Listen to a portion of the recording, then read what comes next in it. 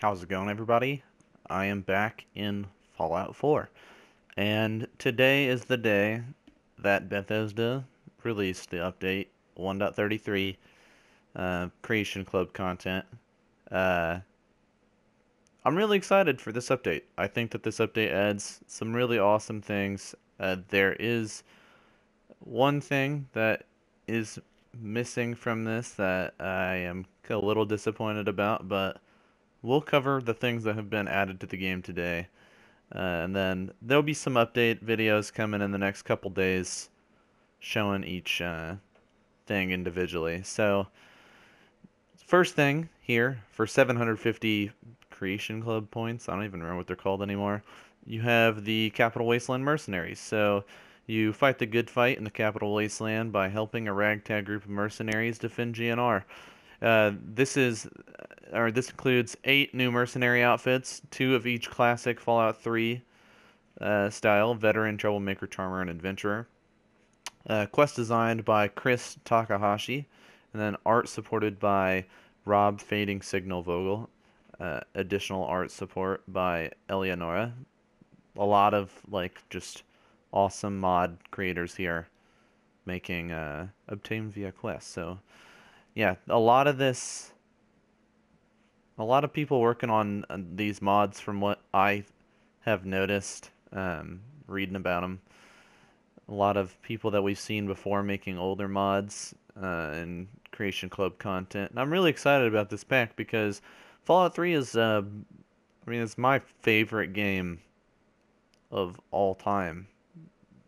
A lot of people probably disagree that that game deserves to be on anyone's list, but it's my favorite game of all time. Fallout 3 was a, a huge game for me growing up and like uh, was the first like huge RPG game that I played that really got me into like games, I guess. So uh, it was a a big part of my like I don't even know upbringing, not really childhood, I guess, but yeah. So you see that it adds these different outfits from Fallout 3 and then uh, two styles of each classic armor. So 750 points for this. And then, uh, yeah. Next one Gunners vs. Minutemen.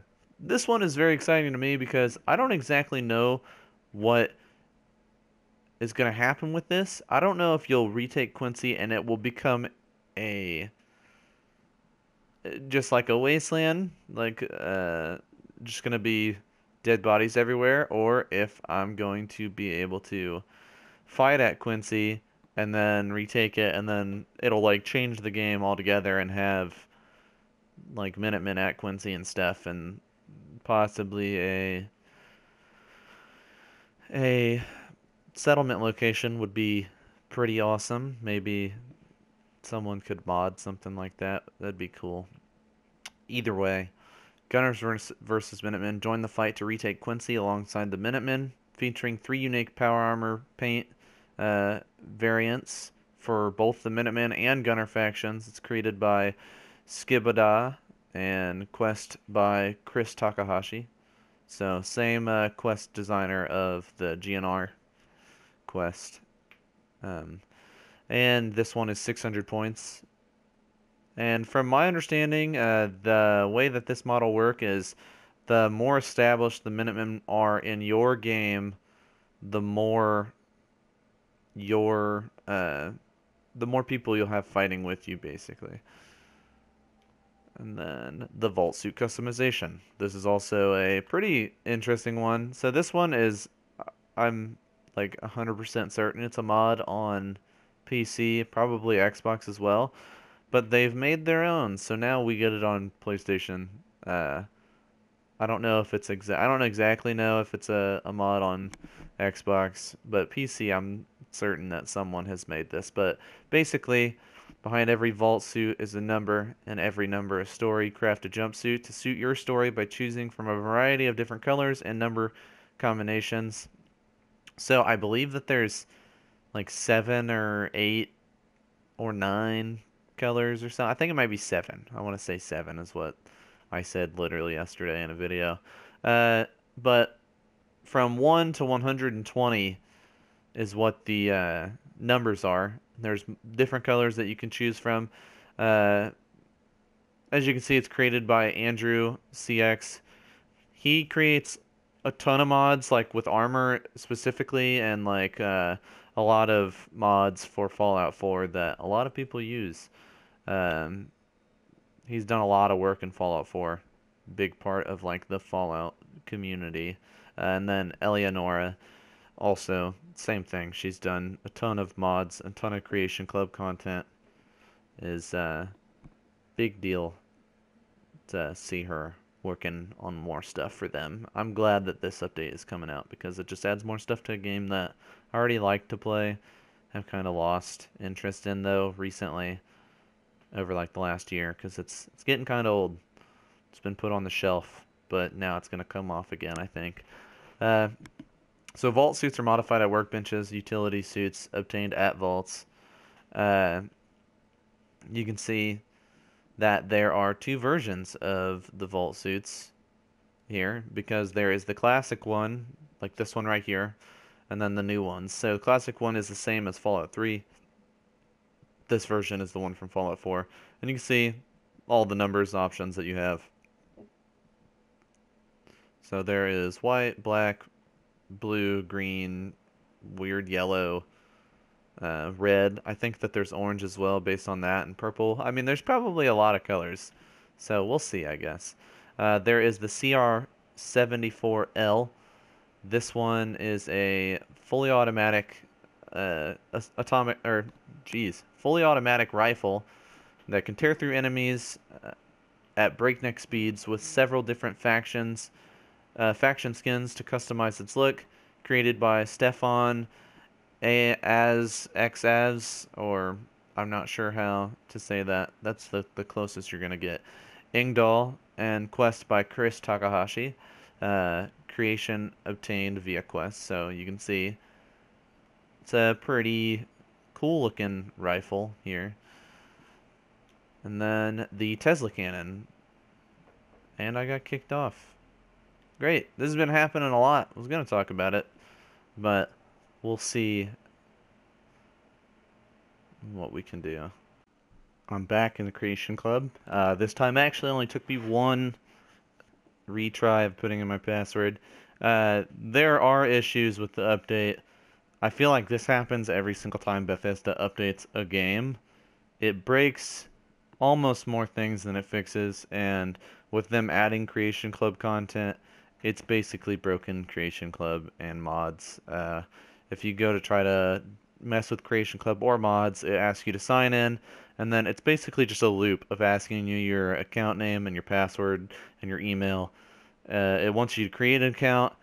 Uh, from what I saw on Bethesda.net, people said to unlink your account on Bethesda.net and then re-log in on your console. Problem is, is uh, I can't actually unlink my PlayStation account, which is pretty ridiculous. But either way, it worked. I just basically just kept putting in my password and my account name. Eventually, it worked. So let's uh, hope it stays working. So Tesla Cannon, like I said, this is a return. I wasn't sure last video if it was from Broken Steel or Operation Anchorage. It was in Broken Steel. It's also in New Vegas as well. But uh, basically, designed by the U.S. government as a lightweight anti-tank energy weapon, the Tesla cannon delivers a massive jolt to any unfortunate soul who stands in its path. includes custom modifications and a new quest that has you track your whereabouts or the whereabouts of a missing gunner crew, created by Richard Unoctium Edwards.